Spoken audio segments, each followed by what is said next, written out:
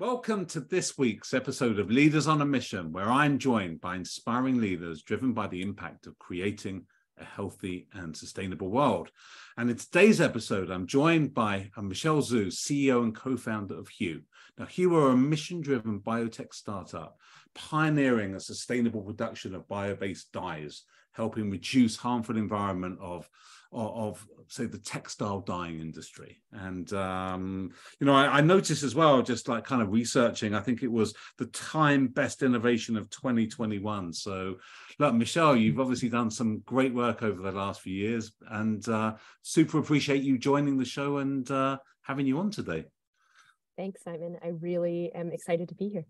Excellent excellent. So let's take it back. I'm really interested in just i suppose understanding you know some of the key forces, you know, maybe the earlier upbringing, the key forces that helped shape, you know, who you are today? Mm. Um, well, you know, I think if I had to point to, you know, just like really narrow it down, I I have to kind of give a lot of par- um, a lot of credit to my parents. Um, you know, we're immigrants from China moved here when you know I was three years old, um, and and that's when they became entrepreneurs and started building their own business. And a very big kind of influence in my early years was really um, watching them build their own, ironically, apparel business um, that uh, just yeah, I mean, left a huge impact on me in in, in so many ways that we can you know delve into but you know it included i think more on the kind of um sort of personal side right? Like you know being the last person to be picked up from school and spending a lot of my weekends in their office like climbing the boxes in their warehouse and right? And and i think just because of those experiences i think that left a really um strong impression of kind of notions of like hard work and perseverance and um, giving all that you can to your company. Um, and, and, and so those are some of the things that I saw, but I think also, and, and I will say like, those are things that I'm working through in terms of both positive and, you know, potentially, you know, damaging, right, impacts um, on kind of the, the psychology of kind of being a founder myself now. But but but I will say, kind of to their credit, I think they were also very intentional about kind of the messages that and and values that they instilled in me. And I think some of the you know largest ones that come to mind are also things like um, you know the the the importance of like individuals reaching their your full potential. Um, I know that sounds weird, but you know, just this like if you are a capable person, you have a responsibility to make impact with it. Um, i think that's a that's a really big one. And and then and then the other one that i definitely always come back to is like the the just just doing things with integrity. And so even though they are business people and entrepreneurs not focusing on money but just focusing on doing what's right and building things kind of the right way and um, and so that just all of that had such a big impact on me i think growing up and even more so in ways that um, i've been surprised by but um, maybe shouldn't be um, just even more so in recent years as i've been building Huue Great. Well, they sound like fantastic, um, fantastic role models. And um, and tell me though, career-wise, you know, as you were kind of you know, I suppose, you know, uh, finishing grad school and considering what you wanted to do, you know, yeah, what, what were your, um, yeah, how did you think about your career at that point, as it were, and what you wanted to do with your, you know, with yourself? Yeah. So, I mean, I, you know, I think you might be surprised to hear, but like, actually, maybe because of those experiences of watching my parents, you know, just pour their heart and soul into their business, actually never thought I'd be an entrepreneur. I was like, that's that's probably, you know, I, I want to take a different path, right? And um, but but I did I did study business in college. I, you know, I, I, I didn't do a, you know, grad school degree. I was, you know, the the kind of, you know, um, business person.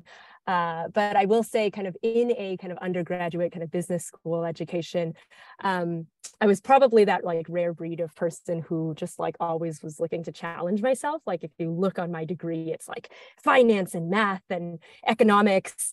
Um, but sort of in the background, I also really made a point of like really enjoying, you know, arts and sciences and you know political science thinking about people i think that probably is reflective of um, uh, just like the very diverse kind of set of interests I, have always had, which probably just meant that, you know, finishing up a kind of business study, um, I didn't know what I wanted to do. And so, like a lot of people who, you know, have kind of like that generalist background, that ended up bringing me to kind of the world of um, management consulting, um, where, you know, I got a lot of exposure to just different types of business projects and different types of industries really quickly, working with, um, you know, just some of the, you know, top and largest companies in the world, right? And, and getting that exposure to, you know, what is it, what does it mean to be kind of thinking like an executive. Um, and I think from there, um, eh, you know, I think it was very clear that after a, a, a, while in kind of management consulting, you were really kind of focused on, you know, sort of being in your ivory tower, doing the one-off projects, kind of parachuting in and then leaving, right? And and I was really both curious about, I think, the um, at, at, that time I was in the Midwest. I, I, was really, you know, curious about kind of the opportunity in the Bay Area, the kind of, you know, um, a kind of scene here that was a little bit more entrepreneurial.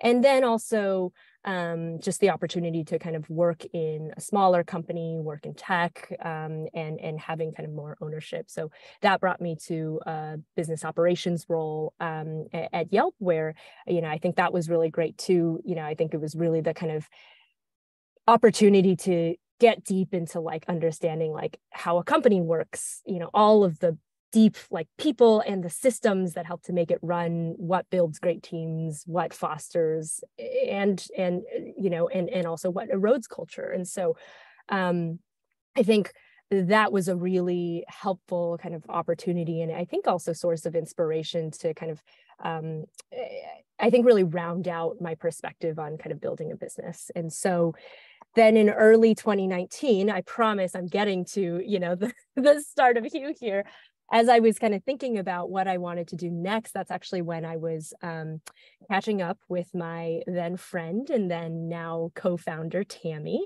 um, who was graduating from her PhD at Berkeley um, and was looking to spin out the technology from her thesis work. And really, that was the beginning of Huue. Um, and, uh, you know, as you, you know, you, you might be able to tell kind of from my story, I think, you know, there was part of you know that opportunity um, beyond kind of family background that I can also talk about but but it was that opportunity to kind of get to you know instead of being the management consultant get to kind of shape my own strategy and also get to build my own culture and get the chance to kind of um, rethink right what does like a radically different and impact focus organization look like in, in in essence kind of what does a company of the future look like? And so that was that was really exciting to me. But of course the other side of it was also the full circle connection to my own family background. Amazing amazing. Well so tell us um, um, about Huue then and uh, you know what you do and what problems you solve. Yeah. Um, so so Huue's mission is to culture nature's rainbow um, as we like to say, which means we're using biotechnology to um, create cleaner sources of color for the many industries that are shaping the future of the planet. And that is starting in particular in fashion and um, with the blue dye, right? In everyone's jeans, everyone's favorite kind of wardrobe staple. Um, so using the foundation of Tammy's research in her PhD, um, we're basically creating a platform for using microbes and nature's blueprint to create color. And, um, you know, as we kind of take a pause and look all around us, you realize color is everywhere. It, it, it isn't just in, um, you know, our clothes, but it's in the food that we eat. It's in the paint on our walls, right? And and today, all of that a color is created by um, carbon intensive and often even toxic petrochemicals. And dyes and dyeing are particularly notorious as a challenge for the fashion industry, where you know something like 17% of global industrial water pollution actually comes from textile dyeing. And so our focus at Huue is creating drop-in bio replacements for industrial colors that can have a fraction of the carbon and toxicity footprint compared to traditional um, petrochemicals and without the trade-off in performance. Amazing. I'm just thinking when you go from a generalist kind of consulting business operations into the world of microbial fermentation and um, kind of biotechnology, that must have been some journey over the last four years, right? Absolutely, it was. Um, I think if there is kind of the number one thing, right, that I took from consulting, it was just the ability to learn and soak up information totally new really really fast and so i definitely had to kind of flex those muscles coming into kind of building a um, a, a, biotech company. And I think, yeah, I think my team would say, I, I, definitely know enough to be dangerous. And the, and the group of scientists, and for a long time, we were, you know, I was like 10 to one, right, outnumbered in terms of uh, technical to commercial kind of representation in our company. Um, eh, but I, but I really tried hard to not be, you know, the kind of CEO who, um, who uh, only knows business and doesn't kind of care about the technology because that is of course such a fundamental part of um, you know the the uh, the core of the business yeah yeah absolutely did you have a scientific um, leaning at all then when you were so I know you were very like majored in economics and kind of business, as it were. So how did yeah. you feel about science, you know, kind of growing up, as it were? Yeah, well, you know, the funny thing is, so so I didn't not from a kind of personal education perspective, but the funny thing is I actually grew up in like a, a family of engineers. So my parents were actually both various types of, you know, engineers. Uh, my brother is now a biomedical engineer. My husband is um, also a kind of PhD in bioengineering, so um, and synthetic biology. He was the one who actually originally made the connection between myself and Tammy. So even though I wasn't um, kind of formally educated in this space, I think I was always attuned to the value of STEM and and hard sciences, and a great kind of admirer and appreciator of it. Fantastic, fantastic. Just give me one sec, Michelle. Sorry, I'm just going to plug a cable in and. Uh, oh yeah, no problem. So one sec. Sorry. That's, it's a really fascinating story. This, it really is. You know, it's. Uh, and, uh, one sec. So yeah. No, take your time. I'll only be like a few seconds. Okay. That's good. Yeah, that's great. Um, and I, I would have thought actually coming in that that relationship with Tammy was your friend beforehand. there's mm-hmm. something else going to work with and being a partner with, right? So a friend doesn't always make a good uh, co-founder as well, right? Mm. So I would figure that relationship would have been really important for you, right? In in founding the company and you know as a, as a real building block. Yeah, absolutely. But I think, you know, when you're able to have a relationship someone bef- with someone before you decide to kind of go into business with them, there's a lot of things that you have the privilege of knowing and i think it's kind of um, you know up to individuals to be able to kind of understand what they're looking for in a business partner and for me it came down to well you know one of course you know foundationally you know knowing that she was a brilliant scientist really smart really capable um you know and and and very willing to you know kind of uh, put into the business uh, you know blood sweat and tears in the same way that i uh, you know am i think there's also uh, I think an even more important piece of this that has, I think, carried us through from the very beginning, which is that aligned sense of values and you know as you can probably hear that's just a really important part to me is being kind of values first leaders and understanding and and getting to trust you know from the very beginning and knowing that Tammy was just fundamentally a really good person and that we would be building together this company with integrity. And and and that I think is more important than anything in terms of figuring out whether or not you know we're going to be compatible as business partners. Yeah, no, great, absolutely. And so, tell us a little bit about so the journey over the last four years. Maybe just outline a couple of kind of key milestones, or you know, where you've taken the company. Well, you've started from scratch, but you know where you've got to on the journey so far, as it were.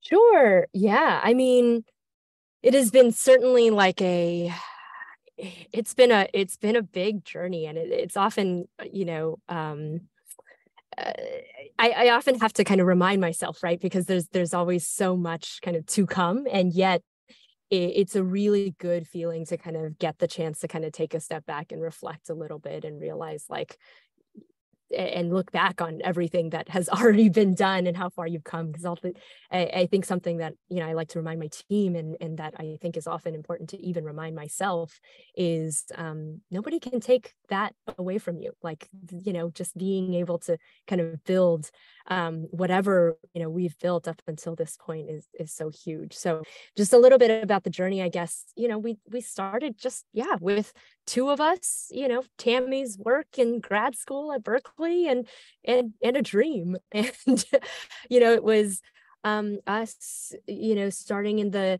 basement of IndieBio, you know, SOSV's, you know, biotech accelerator, um, and just trying to create the, you know, first early, you know, prototypes, just, you know, proof of concepts to show like this, this can be a thing and then you know from there after raising a little bit of kind of you know seed funding at the end of 2019 right starting to pull people together to create kind of iterative prototypes with increasingly kind of better performance um, you know i feel like at this point we've probably increased our performance like four or five x from that like early you know prototype that we had created in the you know in the basement of IndieBio. And then um you know over the the last couple years right getting it to the place where we're um uh confirming and and um uh, and and uh, yeah confirming the process and then getting the chance to scale that and putting out our very first industrial quantities of dye and kind of along the way of course that that happened most recently um, uh, you know, being also supported by additional funding in the form of kind of a Series A, you know, financing that also helped us kind of scale to that next level and be able to kind of accomplish this milestone. So I would say those are probably kind of the, you know, the the biggest moments thus far in terms of highlights on our journey. But it, it has certainly been um, a wild ride. Great, man! Congratulations. I was having a look through the um, the fundraising. I, I hadn't come across Material Impact before. They led the, the round, didn't they? So uh, they look so interesting and so well aligned to, uh, to the journey. And I figure that, I mean, every single stage of fundraising is important, but having the right partners that are going to share with you, I mean, there's probably nothing more important than that, really, in terms of being able to really realize the dream and ambition. So, uh, how did you find that whole that whole process, the whole kind of um, mm. yeah, the whole raising. Yeah, yeah, and yeah, we can definitely talk a little bit more about the kind of you know fundraising market and how it's changed too. It's certainly been yeah that you know the fundraising process is probably one of the biggest kind of like testers right of like CEO um resilience and uh, kind of perseverance i think um, you know, just through through the journey of of building a company. But I couldn't agree with you more that I think when you find the right partners who are aligned, who really get it, um, it is really magical and and you realize i think that's been one of the biggest kind of changes in terms of how i approach the fundraising process right is um you're no longer as afraid to kind of hear no's for example through the process because it's more about finding people and partners who really are kind of aligned with you in terms of vision for where they want the company to go um, vision for you know the kind of values driven you, you know values aligned leadership that you know everybody kind of subscribes to together. Um, and so I, I think it's more about now you know being really confident in um, our approach and what we believe in and not trying to kind of cater to what is the story that investors want to hear but rather just being really um, really uncompromising about what is our story and can we find the right partner who gets that and you know sees the world in the same way. And and so i think we've really been lucky mm-hmm. throughout kind of just the fundraising process. I mean definitely sosv you know through IndieBio has been um, such a big supporter kind of round after round. Um, but also you know just in terms of fundraising timing i mean we raised our seed round basically right before COVID happened. And then we raised our Series A last year, basically just as markets were collapsing, and found great partners every time in that process that continue to kind of um, help kind of uh, give us what we need i think through the, those stages of of building um, and uh, yeah and i think just kind of coming back to integrity during those fundraising processes has just been the biggest learning through it all Absolutely. Luck or skill around the timing, would you say? Definitely luck. That one yeah. is a hundred percent. Yeah. Um, you know, and, and then I think that one other thing I'll say about that, right, as I'm thinking about, you know, I, I know entrepreneurs are, you know, bracing for challenging market kind of conditions right now. I think, I think one of the other things that I think I've really come to kind of appreciate is like you know you get more fearful of kind of challenging kind of economic markets when you know you're thinking about um you know are you are you trying to build a company right or are you actually just trying to chase hype right? And so um i think like eh, you know I, I strongly believe that if you're doing what needs to be done right eh, for the company and you're hitting the same milestones whatever is happening uh, you know externally around you think the money will come and in fact it's more likely to be you know again like the right type of support. Yeah yeah absolutely. And um yeah no the resilience thing is a uh, it's an interesting one because I, I would imagine when you first start every no must just hurt a little bit. It must be I know it's like it's rejection, right? I mean, it hurts, and I just wonder at what point that flips and you become resilient to it, and you don't take it personally. Because uh, I just, I mean, I know it's not nice to hear, right? Yeah, um, no, a- absolutely. Uh, and I think, right, especially for, you know, those of us out there who have people pleaser tendencies, of which, you know, I absolutely consider myself to be one, like that is really, really hard. And I don't think, you know, I'm not going to sit here and tell you that uh I, you know no's don't faze me anymore and i'm totally you know resilient to that but i what I will say is like I think it absolutely gets easier as you just get more iterations, but also as I think your team grows your kind of you know mission and what you're doing just gets more kind of confirmed through the process of building your company your your conviction at least uh, you know i found that mine really has grown as well and i think that is what has really given me the fire and courage to continue to kind of lean into what we're doing why we're doing it and how we're doing it and, and be able to kind of um, keep the confidence and courage about that to uh, to kind of um, continue to to carry us through you know fundraising um, round after round.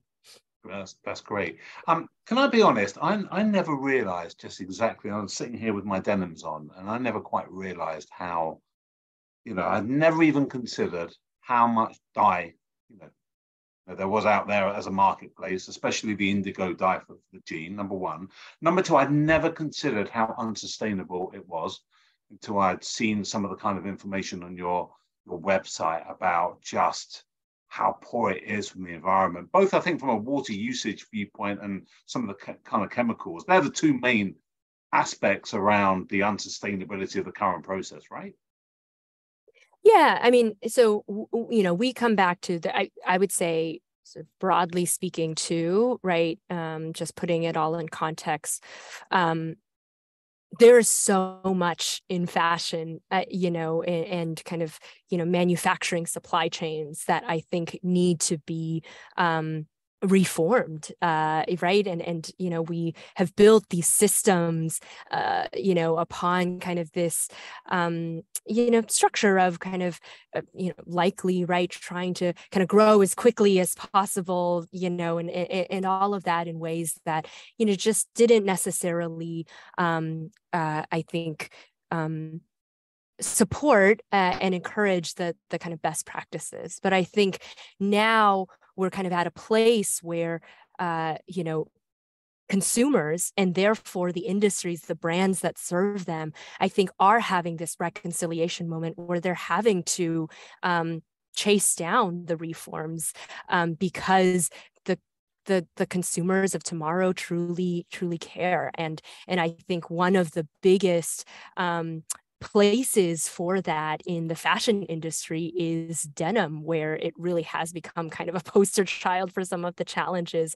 Um, and I and I bring all of that context because honestly there are so many um, you know challenges across kind of uh, you know sustainability and in, in, fashion. And i you know and i think this is another thing like uh, you know that that i've kind of learned throughout the years. I used to i used to kind of wish that we were sort of like the one silver bullet and could paint that perfect picture that we're going to like solve everything in the world. And the truth is Nothing like that exists. It is about an ecosystem of solutions and innovations kind of coming together to kind of solve the challenges within that supply chain. And so for us as Huue, yeah, we're focused on kind of one of the key areas of impact in fashion, which is kind of uh, dyes and dyeing uh, sustainability, but our focus is specifically creating the replacement uh, dye materials um, to be bio-based, um, kind of lower carbon, lower toxicity um, uh, substitutes for the uh, uh, for the vast quantities of kind of dye colorants that are kind of used in the industrial supply chain every day. Yeah, got it. Just I won't dwell too much on the technology, um, mm. but just to ask you because I mean it's interesting. I, have come across many companies in the, I suppose, the uh, industrial biotech o- over the years uh, that have looked at things like various chemicals and materials, and I, I, haven't come across anything that's looked at this particular dye, um, you know, before. And I'm wondering, is the strength on the technology is it around the microbe itself? And what you can get the microbe to do, for instance? Is that is that really the core kind of component and differential? Yeah, I guess I would say I think that answer has probably changed as we've kind of grown as a company. Certainly, I think that was the core and foundation of the um, of the company was really all of that that Tammy had published and done during her PhD that was kind of focused on, you know, discovering the specific enzyme within the, um, you know, the Japanese indigo plant, for example, right? This is what I mean by taking that blueprint from nature and figuring out how to kind of harness that within a particular, you know, uh, strain, microbe and strain.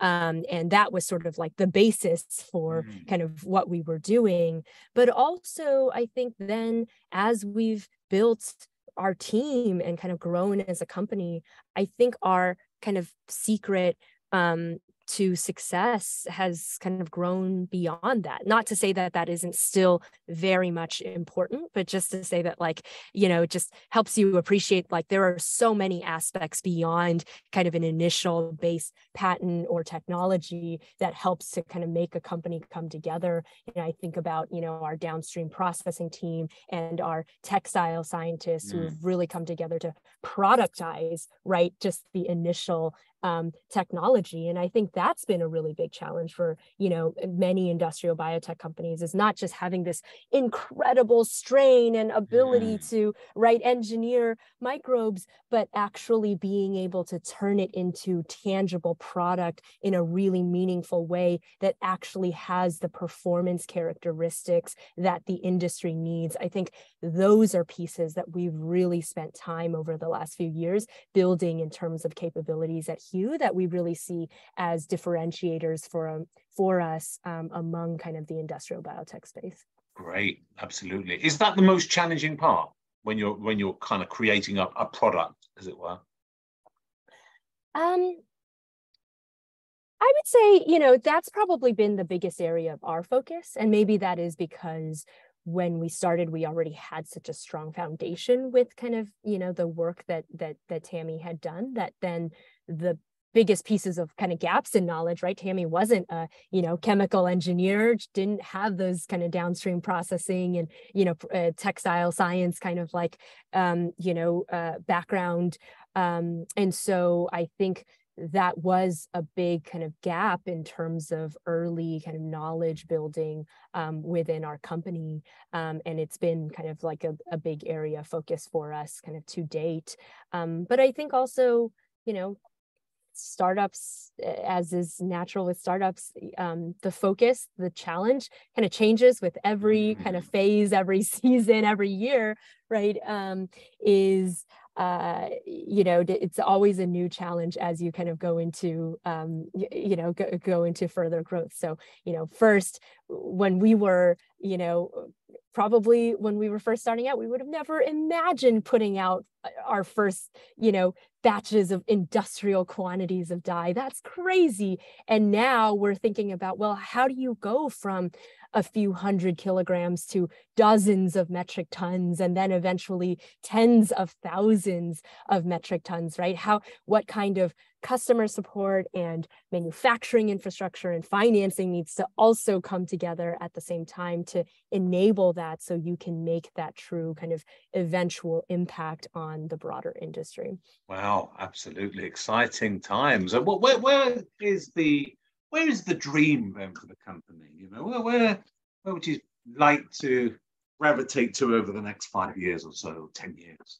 Mm, yeah, I mean, I guess I would say, you know, to me, um, real kind of success for Huue and the dream for Huue would be just being able to, you know, have any of us, right, look around and just seeing many Huue powered color products mm. right in our homes around us um, and in our world around us um, i think we really have that aspiration to be the go-to color company for brand partners and also for you know consumers to recognize and help drive awareness um, and and be able to kind of put trust in the way that that our products um, are made. And and that really maybe goes back to the point that you were kind of bringing up earlier that is kind of the gap between kind of now and the the future that we see which is that you're right a lot of consumers, a lot of people don't even realize the environmental impact of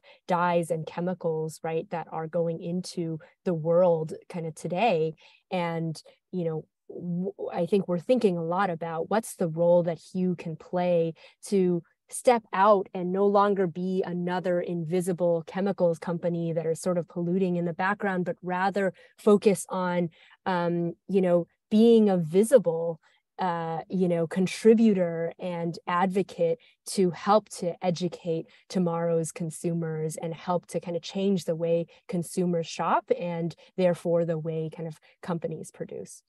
Yeah, no, that's great. Let me just ask you, in terms when you consider the, I suppose, the commercial or the, or the uh, commercialization or the route to market, uh, as it were, do you see longer term your customers being the you know the, the, the branded manufacturers and you'll be selling your product directly to them? Or is it mainly to intermediates that are providing broader solutions to those clients? Or, yeah. Or, yeah. Yeah so so we are um you know a b2b company. Um uh, but we also like to say, you know, it's kind of B to B to C, where you know we have that focus on making sure that it isn't you know b to b to the intermediate so that we are the supplier to the supplier to the supplier that mm. stays invisible we do want to focus on the messaging to consumers and on keeping with the cultural zeitgeist to help to kind of drive corporate purchasing decisions um, and so yeah i just come back to kind of the point of you know we don't want to be that ingredient company that is invisible color is the most visible ingredient actually in the products that we're you know using and consuming and we want to help people know um, uh, the impact that it has and and to care um, about uh, what's going into you know what they're purchasing and so i think that's a big driver of kind of wanting to make sure that Huue has that direct relationship with the brands right? The the denim brands the fashion companies the consumer companies that everybody knows and loves rather than kind of being relegated to um, kind of an, an invisible supplier where there's just then that added element of pressure to kind of go back to the old ways of hey price is king drive down you know as low as possible and then you know really kind of erode your own kind of value as a company. Amazing yeah it makes perfect sense. That's probably how the market's really shifted over the years as well the the more the pull through of the technology and the value proposition and the that b2b to c play is a is a very interesting one at the moment. Like I'm picturing it now. I'm picturing going in there, buying some jeans off the shelf in a store with your label attached to the jean in a co-branded kind of way. That's how I'm kind of seeing it, as it were. Yeah, um, I think you got it. I think that's our our vision as well. And yeah, I mean, I, I think you're right that kind of trend and shift in the biotech industry is definitely something that we sensed when we were kind of first starting out in building Huue too. Um, and I think that's honestly one of the biggest values that, you know, we can bring as founders sort of to this space is, you know, be, beyond kind of you know, I think it it comes back to that value of you know having diverse founders. What does it mean to be you know two women at the helm of kind of a industrial biotech company like this? Well, it's that connection to kind of the consumer pulse and the fashion industry, um, and and kind of understanding that and understanding the role that marketing, for example, has to play in kind of creating a successful business and momentum for uh, for for something like this um, that I think will will really help to kind of set Huue apart. Definitely, definitely. So I think here we've got a couple of things. I think for Huue moving forward, we've got the mission and the impact and the sustainability story, but then you've got quite a an interesting segment of the market and a, and a you know it's a it's it's a it's a great industry to to work within, right? It's an attractive industry to work within as well in terms of you know where you're wanting to market and sell. So you've got a nice combination there of uh, of pull through, and uh, I'm I'm sure it'll be um, a fantastic journey over the next uh, few years actually, and uh, I really appreciate you coming on today and uh, and sharing your journey and big congratulations on everything you've done and wishing you the best for the future. Thanks so much, Simon. I had a lot of fun and thanks for having me.